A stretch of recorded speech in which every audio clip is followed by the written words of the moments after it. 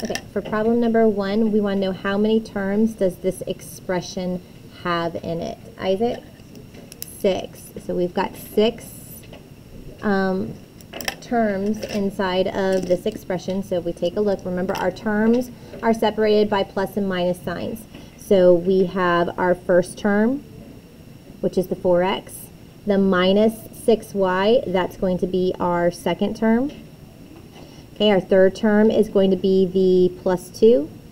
So I'm going to put little things right here. Our fourth term is that negative 5x. Our fifth term is going to be the plus 10. And our sixth term is going to be that minus y. So there's our six different terms. And we'll even write them out here. So we have 4x, we have negative 6y, we have a positive 2, we have negative 5x, we have 10, we have negative y. Okay, so there's our six different terms. All right, for problem number two, I want to know what is the constant. What is the constant going to be? Vincent? Huh? 2 and 10. 2 and 10 are going to be my constants. Okay, so remember, excuse me, your constant is just the number. it's just a plain number. So we have a positive 2. We also have a positive 10 that are going to be our constants. So 2 and 10. Okay, our coefficients. We want to know what our coefficients are going to be. I'm going to go ahead and highlight those in our pink. Although I think I just used the wrong colors. I think it's supposed to be pink and green on the other side. Oh well. Um, so what are our coefficients? Uh, Mackenzie? There's more than one. Yeah, what, well, no, what are the coefficients? What are the values? So we've got a 4. What else do we have? So we have, no, don't say the variables. So we have 4, right? That's one of them. That positive 4. What's this one? Try it again. Negative 6. Don't forget the negative. Okay? So we have 4.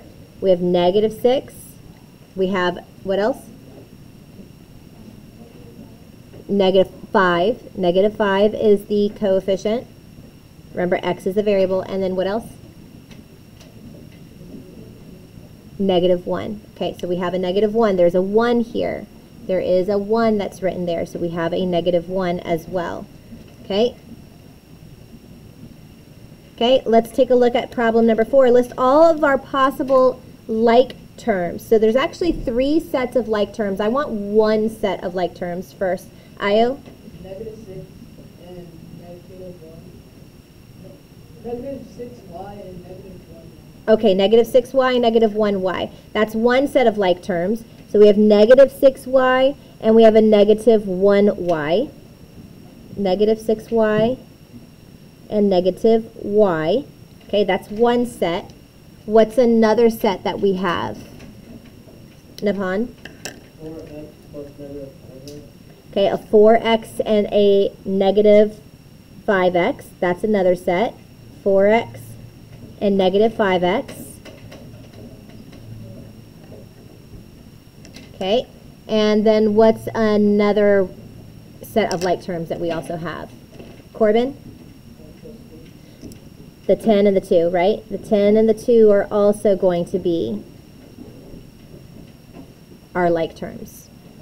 Okay?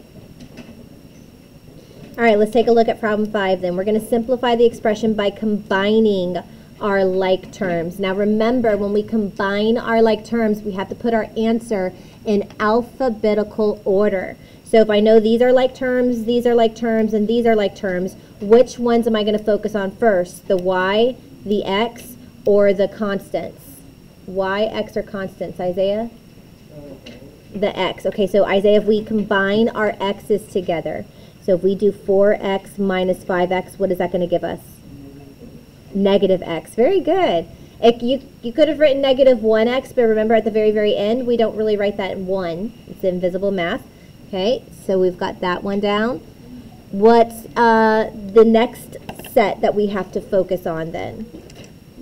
what are we going to focus on now? We've focused on our x's. What's the next set to focus on? Somebody who hasn't answered yet. All right, Carol? The y's. Okay, so we're going to focus on our negative 6y and our negative y, or putting a negative 1. And what is that going to give us? Carol? Try it again. Negative 6 minus the 1.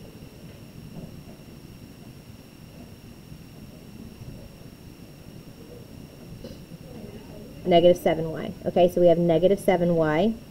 Okay, and then our last ones that we're going to focus on are obviously the constants. I'll go ahead and do that one. So we have our 2 and our 10 that are going to focus together. So we're going to do 2 plus the 10, which is going to come out to our 12. So our final answer here is going to be negative x minus 7y plus 12. That's our final answer. Negative x minus 7y plus 12. Okay? All right. So what we're going to do for today is we're going to talk about distributive property. So when you guys have your assignment, that's going to load at 4 o'clock tonight. So when school ends at 4 o'clock, your digital day assignment will load into Google Classroom so that you can start it early if you want. I am a firm believer in letting you get as much done early so that you can maybe have a little bit of time for fun tomorrow. Okay? Um, so our digital assignment is going to cover everything that we've gone through parts of the expression, the terms, the constants, the coefficients, like terms, combining like terms, and then also our distributive property is going to be in there as well. Just going to be a quizzes. It's an unlimited amount of tries for the quizzes that you'll get to do. Uh, so you can do it as many times as you want or as little as you want. It's up to you. But whatever grade is there by the time school starts Monday is the grade that goes in the grade book, okay? No exceptions. All right. So for distributive property, the way the distributive property works is you are taking a value that is on outside of parentheses and you are distributing it by utilizing multiplication. So distributive property, we're going to use multiplication. So we are going to multiply the value that's on the outside to each of the values that's on the inside. Now we happen to have two values that are on the inside. We happen to have one term that we're labeling A, and then the second term that we're labeling a positive B. Notice that I'm highlighting the operation that is in front of the B because that operation tells me if it's positive or negative. Sometimes it might say minus B, which means you would have a negative there. So when we distribute that, what we're doing is we are taking M and we are multiplying it with the value of A. And then we are taking our M, we know this is going to be a plus because of the fact that it's going to give us a positive answer. We're taking our M and multiplying it with our value of B.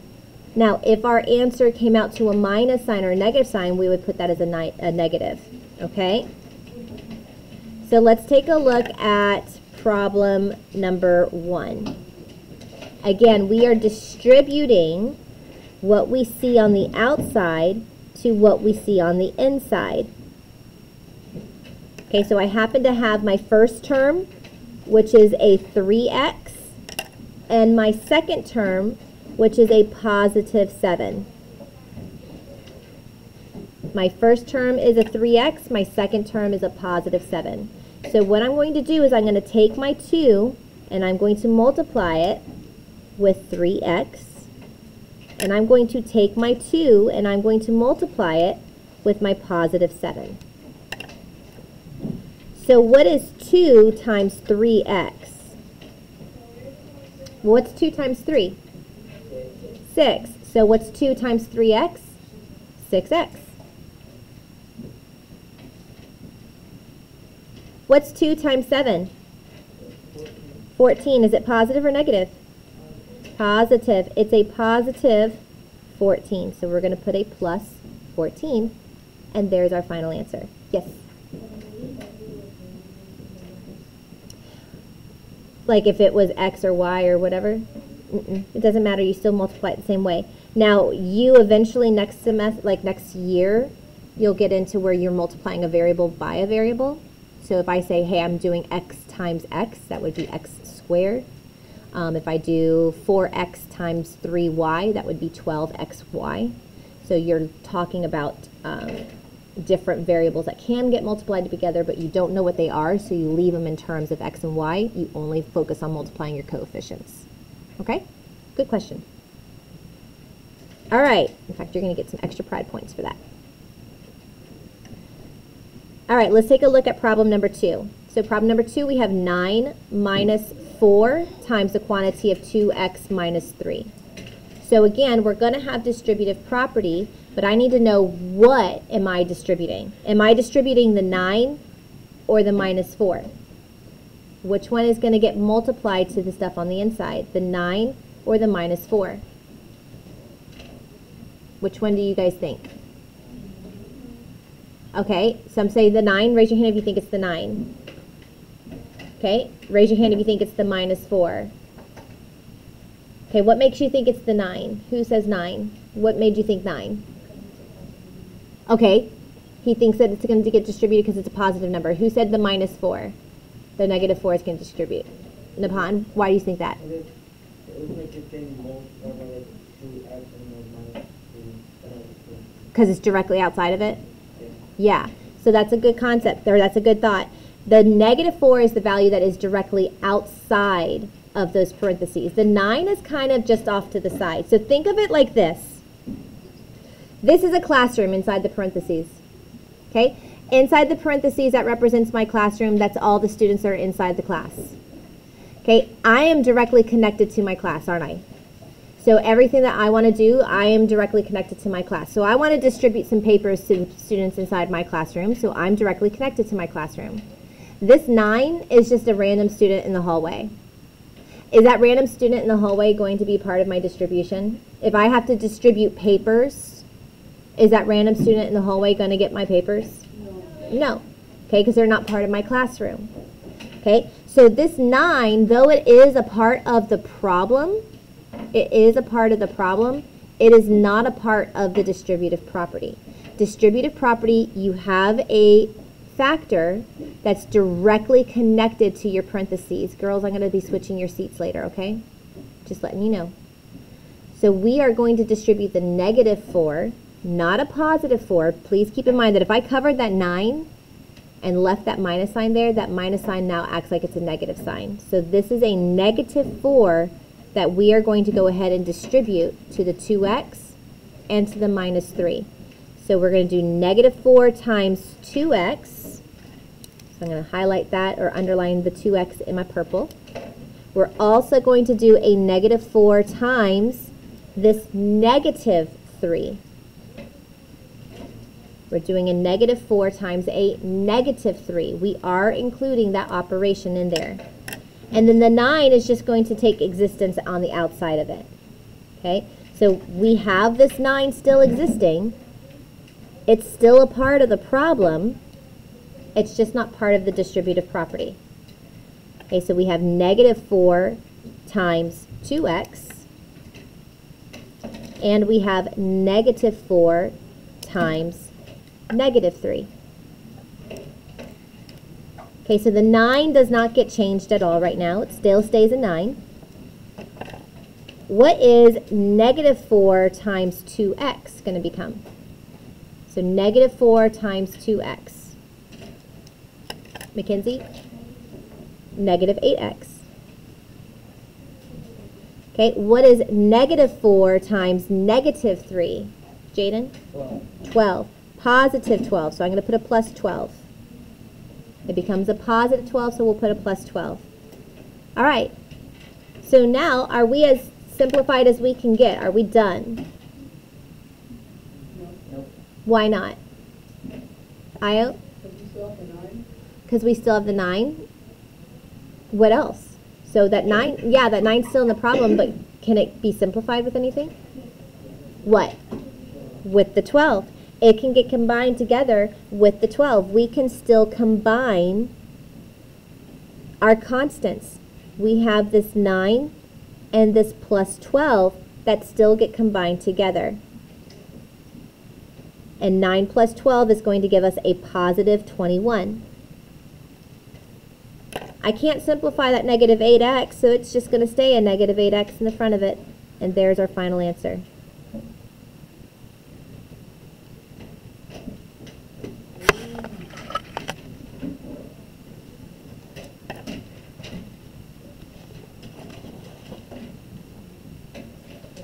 Okay, when you got that copy down, go ahead and flip it on over to the back. We're going to do two more together, and then you'll do two on your or four on your own.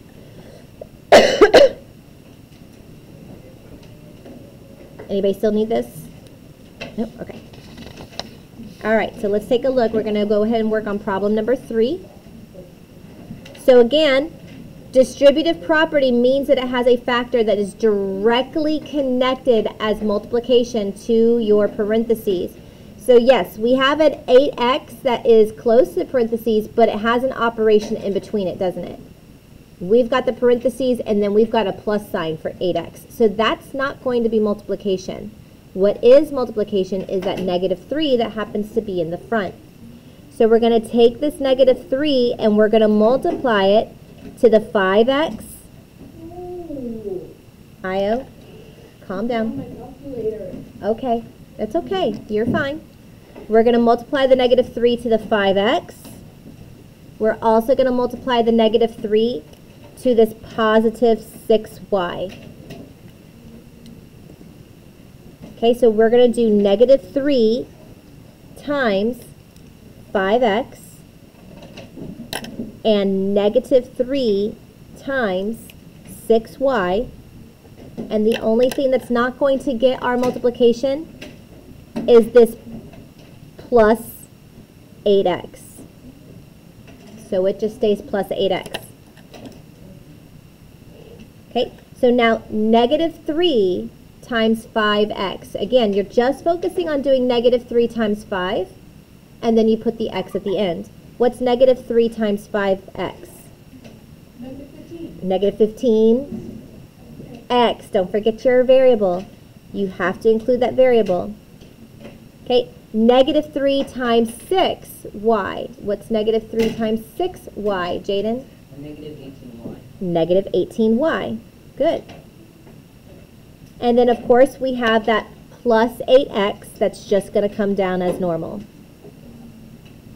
Okay, so we've done our distributive property. Is my expression simplified? Is it as simplified as it can get? No. We still have like terms that can get combined together. Who can tell me the set of like terms we can combine? Madison?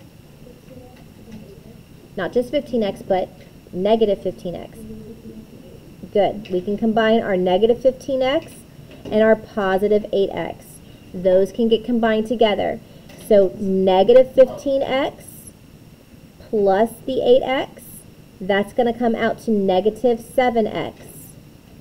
And then we still have this minus 18y.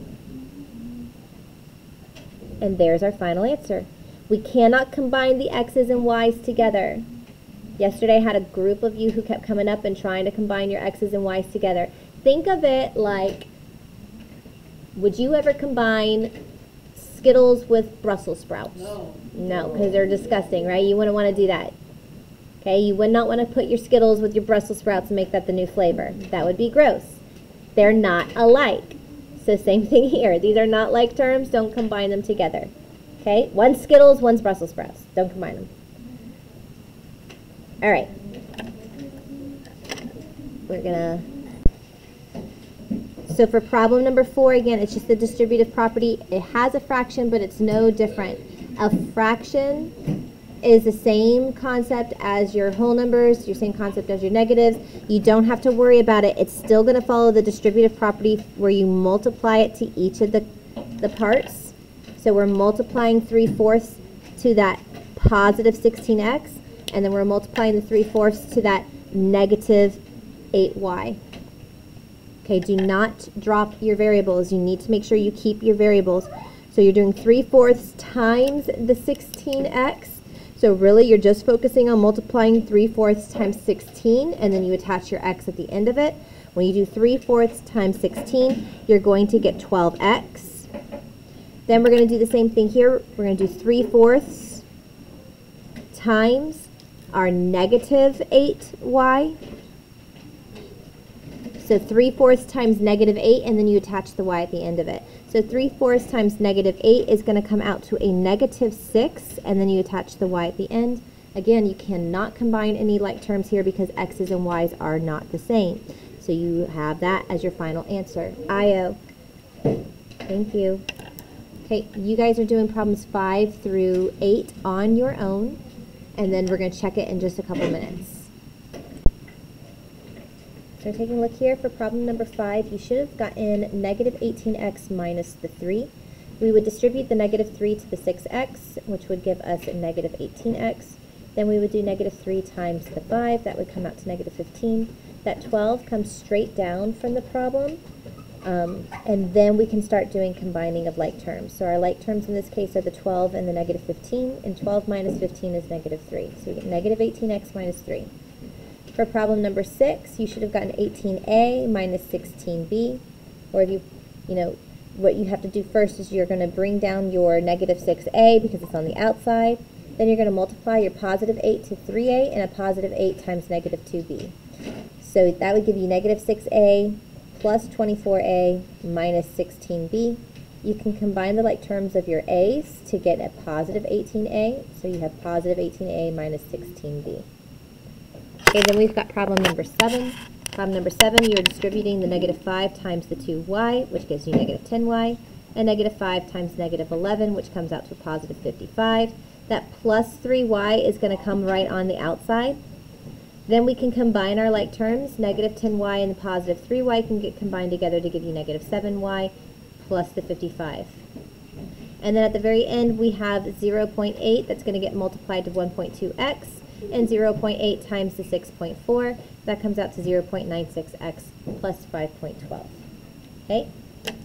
Now, loaded into Google Classroom, you are going to have an IXL skill that practices this. And then if you have time, I'll also load in who still needs to complete assignments for this week.